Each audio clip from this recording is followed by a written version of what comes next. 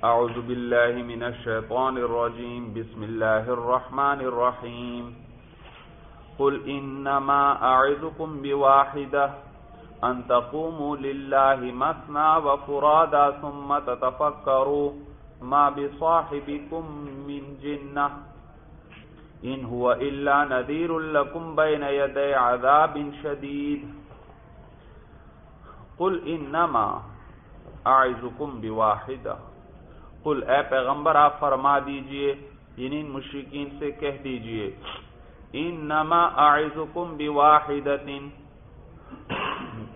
اعظکم، میں نصیحت کرتا ہوں بواحدت، ایک چیز کی، ایک بات کی، اور انما، آیا حسر کا فائدہ دیتا ہے، تو انما اعظکم بواحدت میں تو تمہیں ایک ہی چیز کی نصیحت کرتا ہوں۔ میں تو تمہیں ایک ہی چیز کی نصیحت کرتا ہوں۔ یہ ہی جو لفظ آیا حسر کے لیے، یہ کس کا ترجمہ ہو رہا ہے؟ انما کا بھائی۔ یہ انما نے یہ فائدہ دیا۔ قل، اے پیغمبر آپ فرما دیجیے، انما اعظکم بواحدہ۔ میں تو تمہیں ایک ہی بات کی نصیحت کرتا ہوں۔ ان تقوموا للہ۔ یہ کہ تم کھڑے ہو جاؤ اللہ کے لیے۔ مسنا دو دو و فرادا اور ایک ایک۔ تم مت کرو پھر غور و فکر کرو۔ ماں بصاحبکم من جنہ، نہیں ہے تمہارے ساتھی کو جنون۔ ما بصاحبکم نہیں ہے تمہارے ساتھی کو من جنت جنون۔ تمہارے ساتھی کو جنون نہیں ہے۔ ان ہوا الا نذیر ان نفی کے لیے ہے، یہاں حرف نفی ہے۔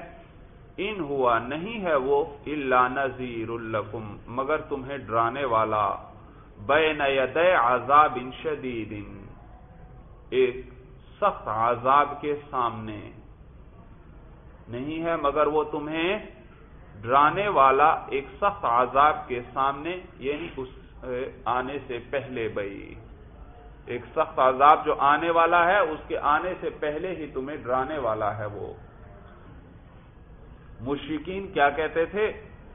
اور تو کسی طرح مقابلہ کر نہیں سکتے تھے، تو پھر باتیں بناتے تھے اور کہتے تھے کہ یہ جو شخص ہے یعنی نبی کریم صلی اللہ علیہ وسلم کے بارے میں کہتے یہ ان کو جنون ہے جنون ہے۔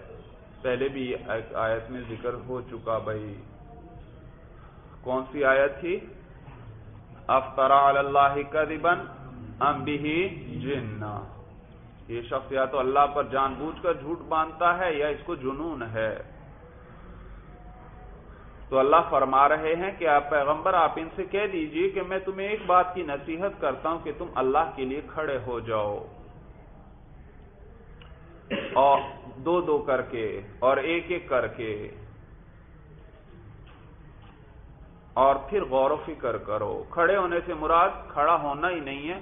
مطلب تنہائی میں ذرا اکیلے غور کرو۔ یا دو دو ساتھی مل کر غور کریں۔ زیادہ ہوں گے تو پھر تو ذہن کی یکسوئی کامل طور پر نہ رہے گی، ایک ایک، دو دو وغیرہ یہ مل کر ذرا تنہائی میں غور کرو، اللہ کے لیے تنہائی میں جاؤ اور غور کرو پھر اس بارے میں کہ تمہارے ساتھی کو جنون نہیں ہے۔ جس کو جنون ہوتا ہے وہ کوئی چھپا نہیں رہتا۔ یہ شخص جس نے کبھی ایسی کوئی بات کی نہیں اور جب تمہیں دعوت حق دینے لگا تو اب تم کہنے لگے ہو اس کو جنون ہے۔ آج تک تو تم اس کو صادق اور امین کہتے رہے ہو۔ سمجھ میں نبی کریم صلی اللہ علیہ وسلم کی سچائی اور امانت داری دعوی نبوت سے پہلے ہی پورے مکہ کے اندر مشہور تھی بھائی اور وہ آپ کو صادق اور امین کہا کرتے تھے بھائی صادق اور امین۔ تو یہ شخص جس کو تم لوگ صادق اور امین کہتے تھے، ساری زندگی اس نے تم لوگوں کے درمیان گزاری۔ اور کبھی اس سے پہلے تو تم نے ان کو مجنون نہیں کہا۔ مجنون تو کوئی چھپا نہیں رہتا بھائی، جس کو جنون ہوتا ہے، وہ تو سب کو پتا چل جاتا ہے۔ تو آج تک تم نے ان میں کوئی ایسی بات نہیں دیکھی۔ اور اب جب تم یہ دعوت دینے لگے ہیں، دین حق کی طرف بلانے لگے ہیں، شرک سے بیزاری کا اظہار کرتے ہیں اور تمہیں توحید کی طرف بلاتے ہیں، تو اب تم کہتے ہو کہ ان کو جنون ہے۔ تم خود تنہائی میں ذرا جا کر غور و فکر کرو، یہ تم پر خود آشکارا ہو جائے گا اور پھر ان کی دعوت میں غور کرو۔ ترجمہ مفہوم سمجھ میں آ گیا؟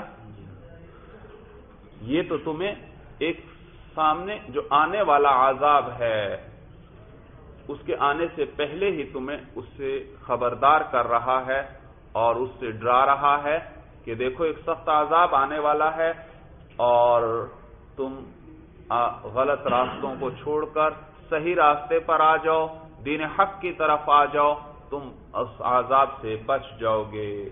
بلکہ اتنا انعام ملے گا، اتنا انعام ملے گا کہ تمہارے تصور سے بھی بالا ہے۔ قل انما اعظکم بواحدت اے پیغمبر، آپ کہہ دیجیے کہ میں تو تمہیں ایک ہی بات کی نصیحت کرتا ہوں۔ ان تقوموا للہ، کہ یہ کہ تم کھڑے ہو جاؤ اللہ کے لیے۔ مسنا دو دو۔ مسنا کا معنی دو نہیں، صرف دو دو۔ نح میں پڑا ہے یعنی یا نہیں بھائی مسنا سلاسا و ربا وغیرہ۔ مسنا دو دو و فرادا اور ایک ایک۔ سما تتفق کرو پھر غور و فکر کرو۔ ماں بصاحبکم من جنہ، نہیں ہے تمہارے ساتھی کو کوئی جنون۔ ان ہوا اللہ نذیر نہیں ہے وہ مگر ڈرانے والا۔ نہیں ہے وہ مگر ڈرانے والا۔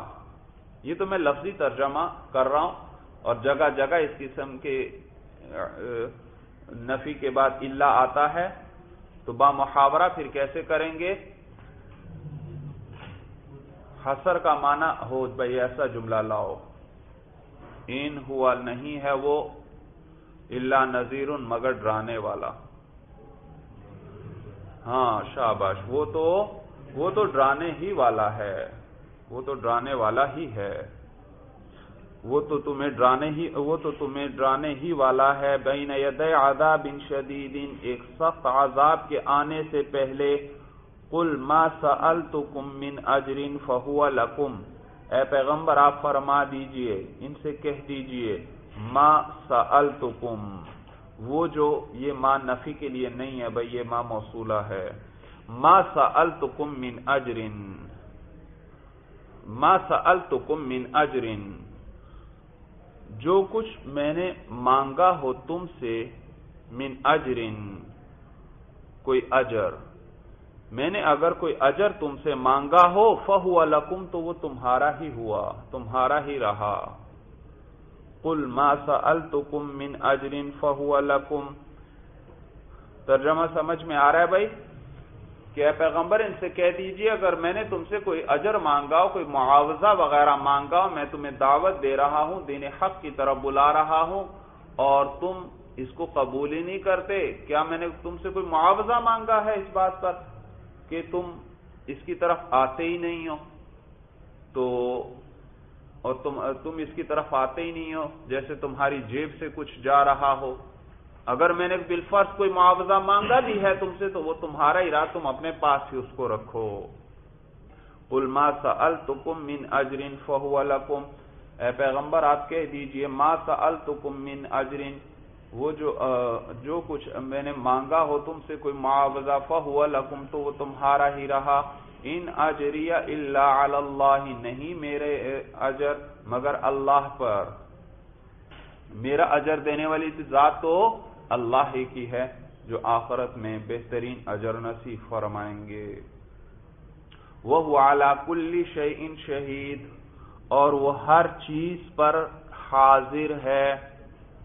وہ اعلی کل شعین شہید اور وہ اللہ ہر چیز پر حاضر ہے، ہر چیز پر گواہ ہے، ہر چیز کو دیکھنے والا ہے، جو بھی آپ ترجمہ کر لیں، شہید کے معنی گواہ کے بھی، شہید کے معنی حاضر کے بھی، شہید کے معنی دیکھنے والا جو گواہ ہے تو دیکھنے والا ہے۔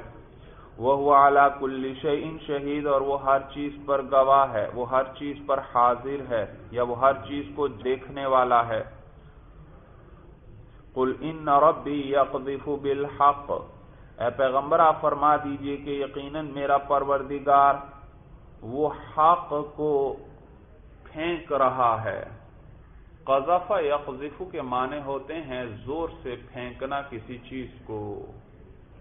تو اللہ حق کو پھینک رہے ہیں باطل پر اور حق اس پر غالب آ رہا ہے، باطل کو مٹاتا جا رہا ہے۔ ترجمہ سمجھ میں آیا؟ یقذف بالحق، حق کو پھینک رہا ہے یعنی کس پر؟ باطل پر۔ یعنی کیا مراد ہے؟ اس پر غالب کر رہے ہیں۔ اللہ حق کو باطل پر غالب کر رہے ہیں۔ قل ان ربی یقذف بالحق۔ یا پیغمبر، آپ فرما دیجیے کہ یقیناً میرا پروردگار حق کو پھینک رہا ہے باطل پر۔ علام الغیوب، خوب جاننے والا ہے پوشیدہ چیزوں کو۔ یا دوسرا ترجمہ یوں کر لیں۔ ایک تو یہ ترجمہ کیا، حق کو پھینک رہا ہے باطل پر۔ دوسرا یقیناً میرا پروردگار یقذف بالحق، حق کو برسا رہا ہے۔ حق کو پھینکنا یعنی کہ وہی برسانا، حق کو برسا رہا ہے۔ علام الغیوبی خوب جاننے والا ہے الغیوبی پوشیدہ چیزوں کو۔ قل جا الحق، اے پیغمبر آپ فرما دیجیے، حق آ گیا۔ یعنی دین حق آ گیا۔ وما یبدئ الباطل ابدا یبدئ شروع کرنا۔ وما یبدئ الباطل، اور نہ تو باطل شروع کرتا ہے کسی چیز کو، وما یعید اور نہ اس کو دوہرا سکتا ہے۔ نہ تو باطل کسی چیز کو شروع کرتا ہے اور نہ اس کو دوہرا سکتا ہے۔ یہ کنایا ہے اس کے ہلاک ہونے سے۔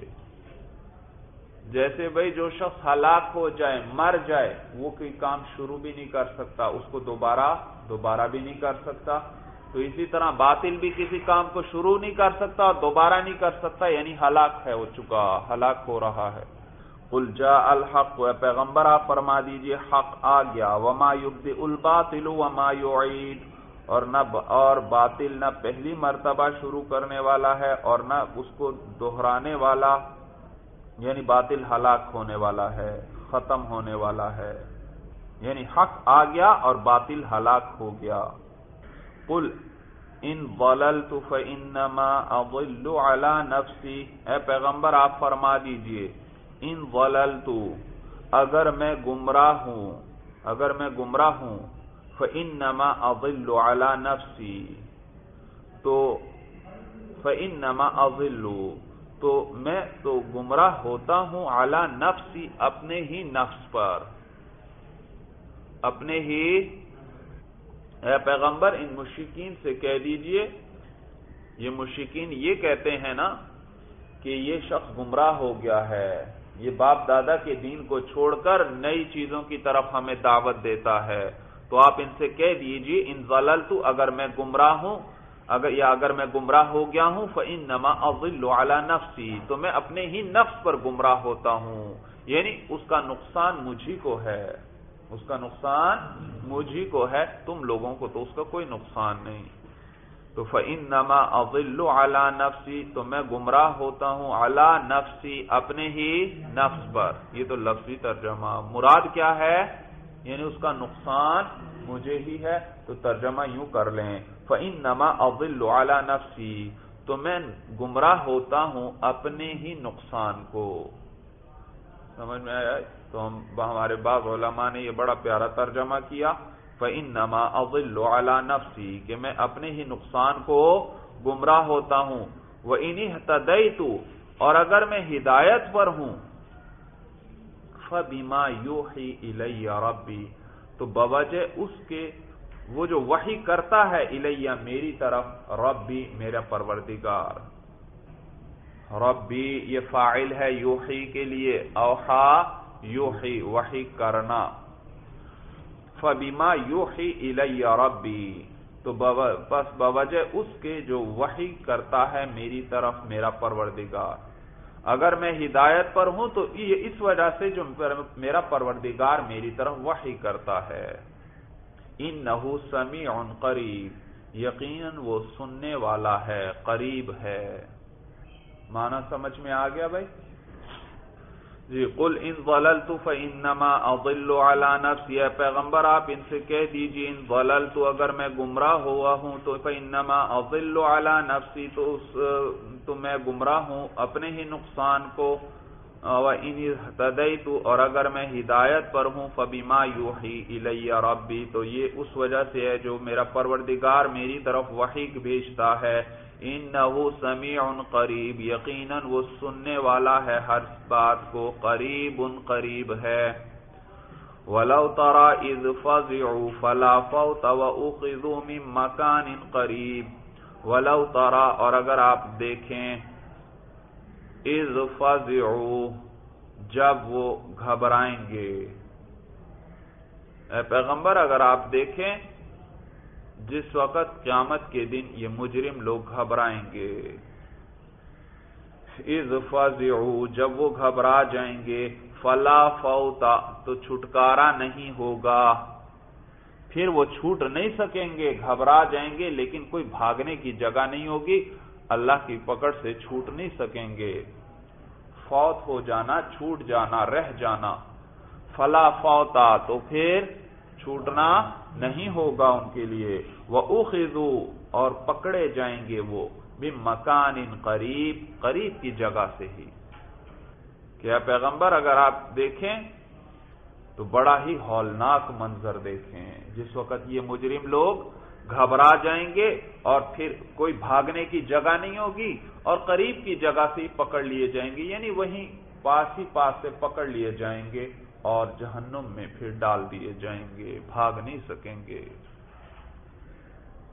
ولو تارا اور اگر آپ دیکھیں از جب وہ گھبرا جائیں گے، فلا فوتا تو پھر بھاگنا نہیں ہوگا یا پھر چھٹکارا نہیں ہوگا۔ وہ او اور وہ پکڑے جائیں گے مکان ان قریب قریب کی جگہ سے ہی۔ وقالو اور وہ کہیں گے، آمنا بھی ہم ایمان لے آئے اس پر۔ ہم اس پر ایمان لے آئے اس دین حق پر، یہ اس قرآن پر، یہ اس پیغمبر پر۔ ہم اس پر ایمان لے آئے۔ وہ انا لہم التناوشو اور کہاں ہو سے ہوگا؟ لہم ان کے لیے التناوش۔ پکڑ لینا۔ تناوش یعنی کمانا ہے تناول۔ تناول کہتے ہیں ہاتھ بڑھا کر کوئی چیز پکڑنا۔ آپ کے سامنے ایک کتاب پڑھی ہے بھائی آپ ہاتھ بڑھا کر اس کو اٹھا لیتے ہیں۔ اس کو کیا کہیں گے؟ تناول کہیں گے۔ تو اللہ فرما رہے ہیں، وہ اس وقت جب پکڑ لیے جائیں گے، جہنم سامنے ہے، بھاگ نہیں سکیں گے، کوئی چھٹکارے کی صورت نہیں ہوگی، زنجیروں میں جکڑے ہوئے ہوں گے اور پکڑ لیے جائیں گے تو وہ کہیں گے، آمنا بھی ہم کیا کرتے ہیں؟ اس پیغمبر پر ایمان لاتے ہیں۔ وہ انا لہم التناوش، اور کہاں سے ہوگا ان کے لیے پکڑ لینا؟ یعنی اب کہاں سے ہوگا ان کے لیے؟ پکڑ لینا، ایمان کو یعنی پکڑ لینا۔ مم مکان بعید، دور کی جگہ سے۔ دور کی جگہ سے، دور کی جگہ سے وہ کہاں پکڑ سکتے ہیں؟ بھائی دیکھیے، آپ سے ایک چیز دور پڑی ہے اور آپ یہاں سے ہاتھ بڑھا کر اس کو پکڑنا چاہتے ہیں، سارا دن بھی لگے رہے ہیں۔ جب ہاتھ ہی نہیں پہنچتا تو کبھی بھی نہیں پکڑ سکتے بھائی دور کی چیز کو۔ تو اللہ بھی فرما رہے ہیں کہ اب دور کی جگہ سے وہ ایمان کو پکڑنا چاہتے ہیں، ایمان کو حاصل کرنا چاہتے ہیں۔ وہ کہاں سے حاصل ہو سکتا ہے؟ ایمان لانے کی جگہ تو دنیا تھی، دنیا تو وہ پیچھے چھوڑ آئے، یہ تو آخرت ہے، یہاں تو جزا و سزا کا معاملہ ہوگا۔ یہاں وہ کہتے ہیں، آمنا بھی ہم کیا کرتے ہیں؟ اس پیغمبر پر ایمان لاتے ہیں، کہاں سے یہاں ایمان ان کے ہاتھ آ سکتا ہے؟ مانا سمجھ میں آ گیا؟ وقالوا آمنا بھی اور وہ کہیں گے، ہم اس پیغمبر پر ایمان لے آئے، وَأَنَّا لَهُمُ التَّنَاوُشُ، اور کہاں سے ہوگا ان کے لیے ہاتھ سے پکڑنا؟ من مکان بعید دور کی جگہ سے۔ وَأَنَّا لَهُمُ التَّنَاوُشُ من مکان بعید اور کہاں سے ہو ان کے لیے پکڑنا؟ دور کی جگہ سے۔ ہاتھ کا لفظ ترجمے میں رہنے دیں، میں نے معنی بیان کر دیا۔ تو تناوش کا معنی پکڑنا۔ تو وہ انا لہم تناوش مکان بعید کہاں سے ہو ان کے لیے دور کی جگہ سے پکڑنا؟ وہ انا لہم تناوش مکان بعید اور کہاں سے ان کے ہاتھ آئے گا دور کی جگہ سے؟ کہاں سے ان کے ہاتھ لگے دور کی جگہ سے؟ تناوش کا معنی میں نے بتلا دیا، ہاتھ سے پکڑنا۔ وہ انا لہمتناوش من مکان بعید اور کہاں سے ان کے ہاتھ آئے دور کی جگہ سے؟ وقد کفروا به من قبل، اور تحقیق وہ انکار کر چکے ہیں اس کا من قبل، اس سے پہلے۔ اب ایمان لاتے ہیں اور پہلے کیا کیا تھا؟ اس کا انکار کر چکے۔ وقد کفروا به من قبل، اور تحقیق وہ انکار کر چکے ہیں اس کا اس سے پہلے۔ وَيَقْذِفُونَ بِالْغَيْبِ مِن مَّكَانٍ بَعِيدٍ۔ اور وہ پھینکتے تھے بل غیبی بن دیکھے، من مکان بائی دور کی جگہ سے۔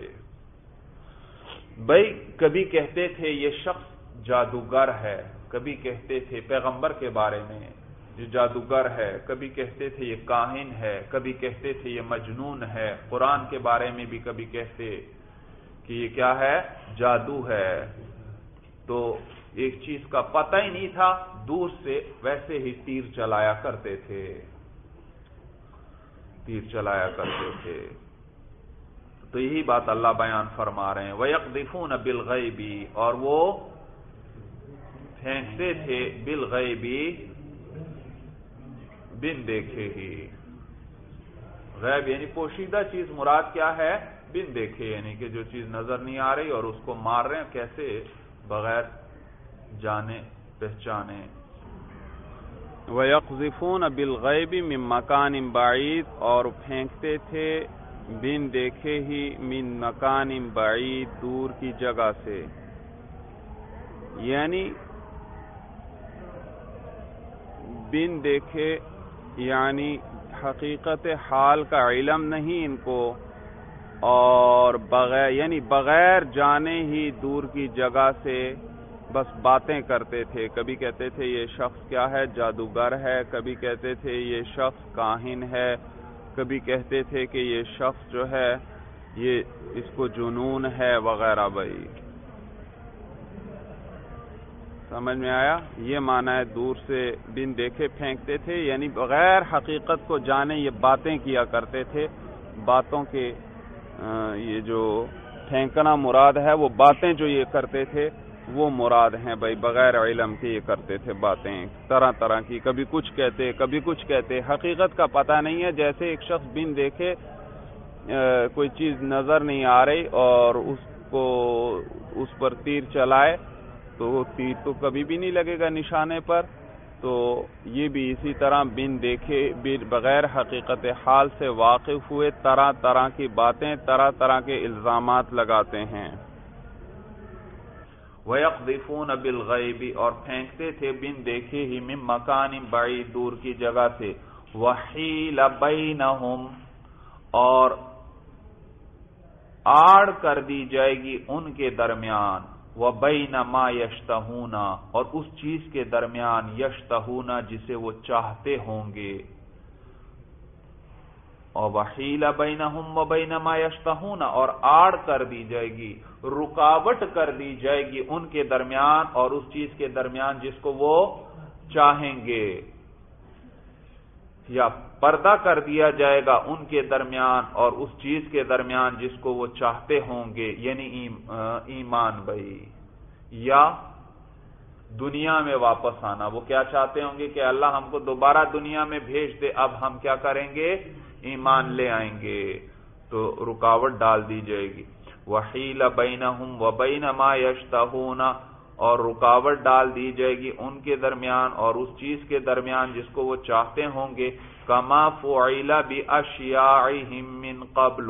جیسے کہ کیا گیا بھی ان کے مشابہ لوگوں کے ساتھ، ان کے طریقے والوں کے ساتھ۔ اشیاء جو ان کے مشابہ تھے، جو ان کے طریقے والے تھے۔